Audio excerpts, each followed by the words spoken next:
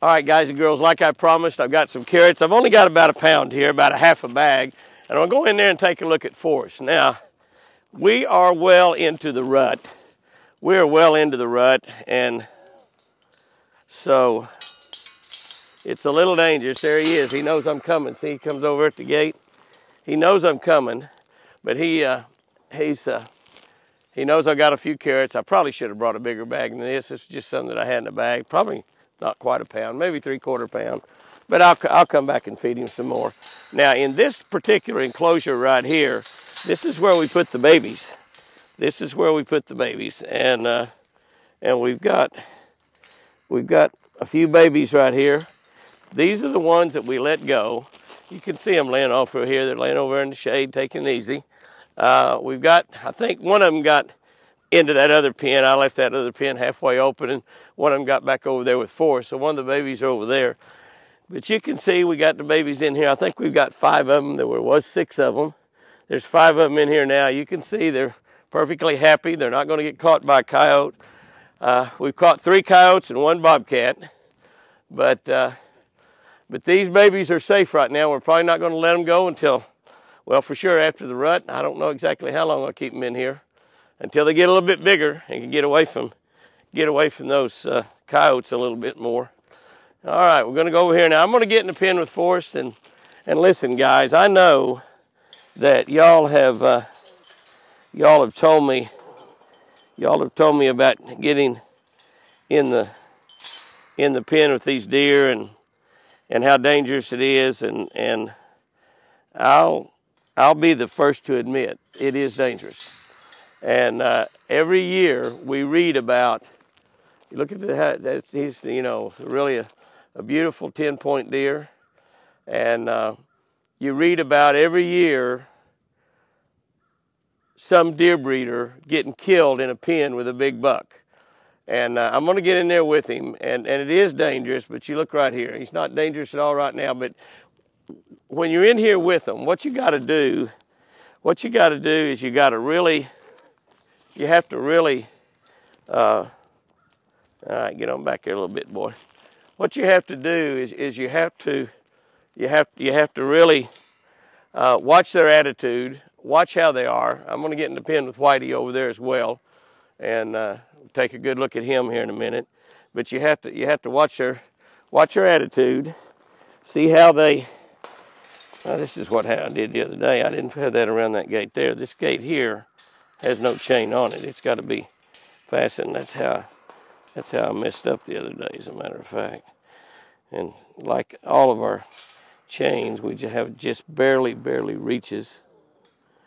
That's par, isn't it? I mean, barely reaches. But uh, but when you get in here, when you get in here with them, Come on, Whitey. I mean, uh, Forrest, come on up here, buddy. When you get in here with them, one of the things that, that I like to do, I like to stay relatively close to a fence. Come on, buddy. Come on over here. Come on here, Forrest. Come here. Come on, buddy. I don't want to walk way over to you. You're going to have to come over here to me. And he will, but you watch right now. He's, he's docile. He's in here with, I think, now he's got, actually got six does in here now because there's one yearling in here also with him. And uh, so he's got one, two, three, four, five, six. But you can see he's going to come on over here and eat carrots. And I want you to take a look at those back legs while he's eating here, and uh, and see how he's see how he's uh, how he's healing up. Uh, he's fine, everything's fine, but and you know he's he's in the rut, and I don't know if we're just taking a chance he's going to breed these deer. he might not, and that will be really heartbreaking if he doesn't. We haven't seen him breed any of them.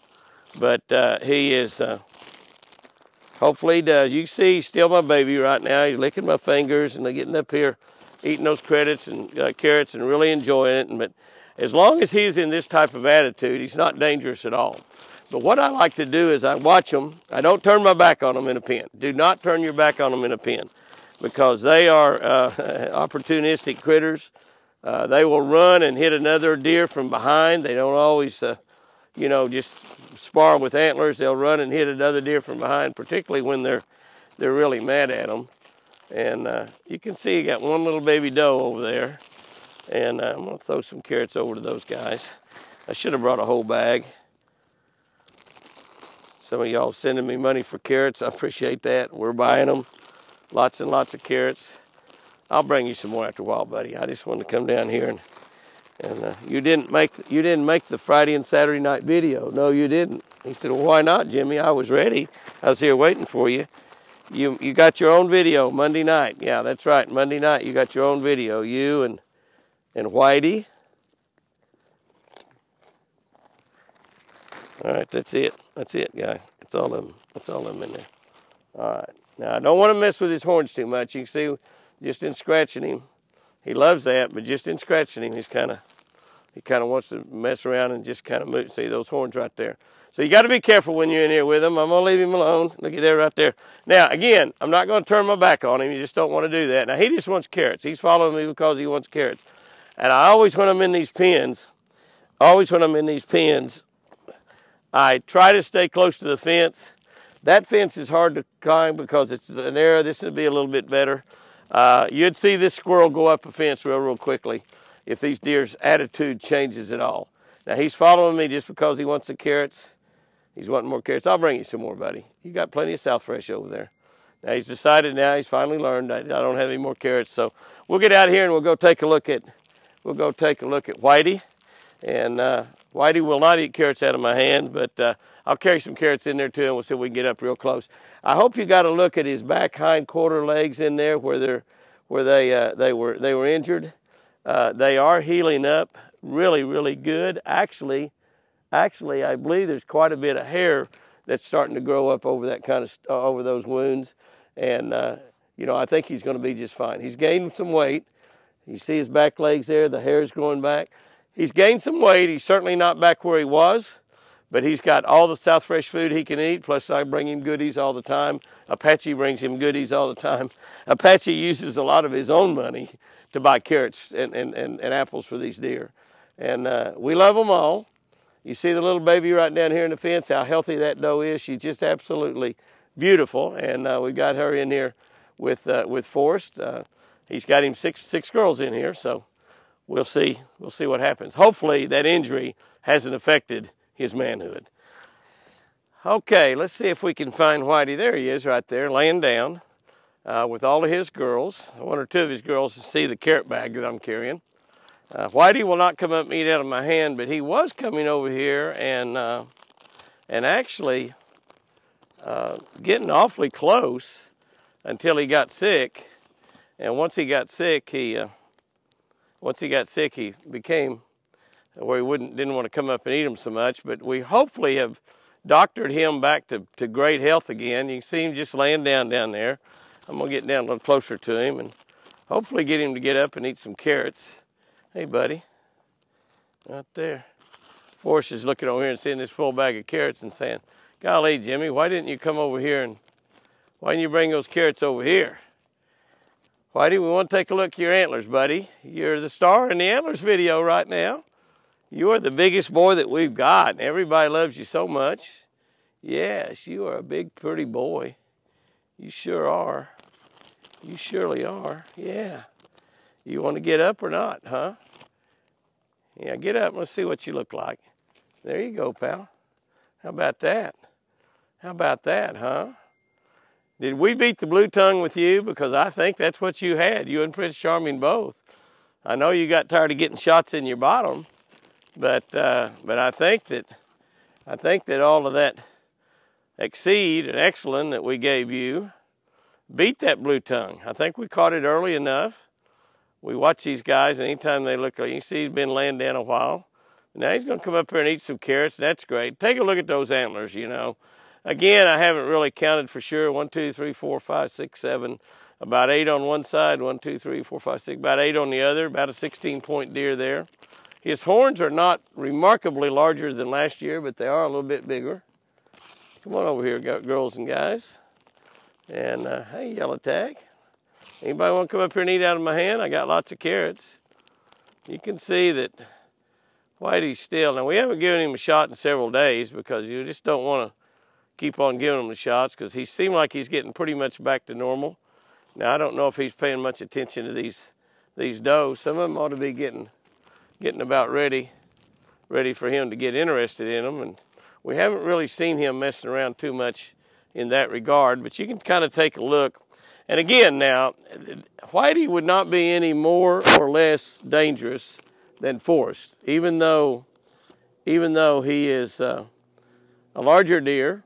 He lost quite a bit of weight while he was sick, but even though he's a larger deer, and he's gaining some of that weight back also, even though he is a larger deer, but you look at him, he has nothing dripping from his mouth. Uh, his nose is a little bit shiny, but, but not bad. And, uh, and he just, he just looks like it, he's, he's pretty close, he's pretty close to getting well, pretty close to getting well. One, two, three, four, five, six, seven, eight, nine, about eight by, eight by eight, nine by nine, something like that is what he is. His horns look beautiful there and uh, shining in the sun. Oh yeah, baby. Now, again, I don't want to turn my back on that. Now, in this pen, I can actually keep, in this pen, I can actually keep a couple, two or three trees in between me and him. Now, I don't know that that would help. I might be able to get in that little bunch of trees right there and get him away until he changed his attitude. But again, you watch him right now, he has no bad attitude at all. He's very, very close to me. He's only two or three foot away. And uh, you can see that he is uh, enjoying those carrots, which is good. That means he's not really bad sick anymore because he's eating well. And uh, again, Apache feeds him carrots and apples and stuff pretty much every day. Deer slipping up here behind me. I've got him now within five feet, uh, probably four or five feet right here as I'm leaning up against this tree. And you can just see how beautiful his antlers are. He's really went through a, a, tough bout there, just like Prince Charming. And we'll go see Prince Charming here last on today's video. This is kind of just a little extra bonus video because we had so much of the wild bucks running around. You can see he's just not got any mean look. He doesn't got any suspicious look. He's just eating there. And again, like I said, you, you hear about and you see videos and hear stories about a deer breeder in a pen getting killed by deer every year, or maybe in their yard even. Uh, with a pet deer. You, you hear about that every year. And you may hear about that with me too. I don't really know. If you do, I hope we have it on video for you so you see Jimmy's last stand. But I love these deer so much, and actually they love me as well. And uh, he's not really, he's not really uh, in any type of mood or anything that would be aggressive right now. Uh, they get aggressive looking before they get into fights. They, they, they try to bluff some of the other deer, and once they whip a deer or two, they don't ever have to fight them again. And so if he ever got in an aggressive mood, again, I've got trees in here. I can kind of try to keep um, keep a tree in between me and him and maybe fight him off until I can get to a fence and shinny up that fence and, and, get away. Uh, probably really ought to have a climbers on a couple, two or three of these T-posts in here. A buddy of mine developed some climbers up in Oklahoma City that you can put on a T-post where you can climb over a, a T-post when you're out hunting.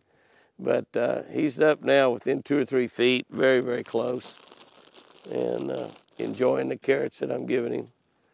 He almost, he got so close there, he said, I'm a little bit too close to Jimmy right now. So as long as he is in a pretty good mood, we're not going to worry about him too much. Okay, so there's Whitey. Whitey is just a beautiful, beautiful specimen. Hopefully we have saved him. And again, one of the things that I'm a little concerned with, with all three of our bucks, because of their injuries with Forrest, and the, he turned around went the other way. I just didn't want to turn my back on him with him that close.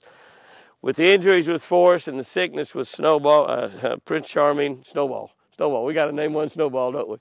With uh, injuries with Prince Charming and uh, the sickness, Prince Charming and and and Whitey, uh, is I don't know what's going to happen with all our does. I don't know what we're gonna we're gonna get out of the deal. Hopefully, we get a bunch of big, beautiful babies come springtime.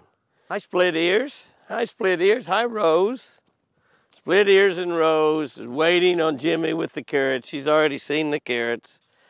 And this right here is just barely long enough to fasten. Anyway, all right. I got carrots right here, girls. You get back. You get back. You get back. I got carrots. I got to get the. Oh, looky there, looky there, looky there. We come in here to look at Prince Charming. You don't like Prince Charming, do you? He's a beautiful deer. You've never seen a deer like him. running around anywhere. He's beautiful. Yeah. Be, be patient, be patient, be patient, be patient. Everything's gonna be okay. Yeah, looky there. What you doing? Huh? What are you doing? And there's Rose over there. I can't get a collar on her. How you liking your collar? You got it pretty dirty. Yeah. All right, we're gonna go take a look at, at we're gonna go take a look at Whitey. We didn't come in here to look at you. She said, Well, you're gonna have to. You're gonna have to, and you're gonna have to feed me that whole bag of carrots. I want to give some some of these carrots to to Prince Charming. Yeah, if he will if he will eat them. Now the same deal, I don't know how aggressive white deer are. I've never heard of an albino deer killing somebody. But but again, he's still a buck and it is the rut. And uh, I I tell you what, guys and girls, I really believe, I really believe that uh, that that Prince Charming had the blue tongue. I mean, he was he had all the symptoms, all the symptoms, and uh, and we started giving him shots, antibiotic and Excenel, and uh, and I think we've cured him. You look at him right now; he's not dripping. Uh, his eyes are not red. He doesn't have any red around his mouth. Hey, buddy. Hey, how about that? And uh, he's just looking, looking a lot better. Hey. Get that right down there, right down there by him. Now he will eat out of my hand, even even with me in, in with him. He'll eat out of my hand, as a matter of fact. But he's being pretty lazy right now. He did pick that carrot up and eat it. I can't I can't this is like this is like a game of pitching coins or something. I got to get it close to your mouth because you you won't get up and eat it. I've got that one right under him. He'll be able to smell that. I've only got about a pound, so you're not going to get too many of them. Prince Charming, you could get up. You could stand up, lazy boy. Split ear says, hey, look, look at that. Rose going to go right up there beside him and eat carrots three or four feet away from him. Hey, guy. Hey, guy. You going to get up? Are you going to get up, huh? You want to get up? Here, come here. Come here. Come here. Looky here. Come here. That's my boy. Oh, yeah. Looky there. Now, you see Split Ears run off. She's afraid of him. And uh, she, he's not pretty at all to her. Looky here. But he is eating. She's saying, this is really bad. Not only do I like, don't like him, he's eating all my carrots. He's eating all my carrots. Now this is a great sign right here because what when he was really bad sick, I could not do this at all. And you see now, I'll bring y'all some more. He doesn't have any red around his eyes. Our eyes is bright and clear. There's no anything in them. He's eating those carrots and just being just absolutely fantastic. We've got his antlers out here in the, in the sun now. You can see he's uh, he's limping a little bit he's limping just a little bit there, and uh, baby, they're all gone. He left a couple up here. I dropped one there. You, you already found it. There's a couple more up here you can go get. Looky here. Looky here, girl. Looky here. Hey, hey. Uh, here's one. No, she said I found one down there. There's one. But he is looking really, really good. And again, you know, he could be very, very dangerous because he's a big 200 pound plus deer. Uh, he, he lost just a little bit of weight while he was sick, but he's gained most of that back, it appears. And he just looks absolutely beautiful, just absolutely spectacular. He's been showing a little interest in the does, but these two does right here, honestly, especially Split Ear, is afraid of him. And I know Split Ear had two really beautiful babies last year. As a matter of fact, both of her babies are in the other pen over there with uh, with Casper and Ice and little Whitey and another little buck. Four does and four bucks in that other pen over there. And uh, but he's looking pretty good, and he's actually walking good. He has no no hump in his back at all. What you say, Rose? What do you say, Rose? Huh? Huh? What you say? You see, he's kind of interested. He's kind of interested in, in Split Ear, but Split Ear is not interested in Prince Charming. She is not interested in Prince Charming at all. Prince Charming might be big and beautiful and unusual, but she doesn't dig him. She doesn't dig him. She, he doesn't turn her on at all. All right, guys and girls. That'll wrap up this extra edition, the extra edition of Antlers uh, here on a Monday night. Uh, it, we just had so much footage from being out in the woods. We're going to try to be out in the woods a little bit more. And what about what about that buck swimming that lake and getting getting outrun by a doe and totally losing her? Like I said, girls, you want to get rid of a guy? Learn how to swim and become a great swimmer. Guys and girls, have you a great one out there this week. We got more videos coming almost every single day on Jimmy and Chris Houston's Twin Eagle Ranch. And remember, I sure do love you.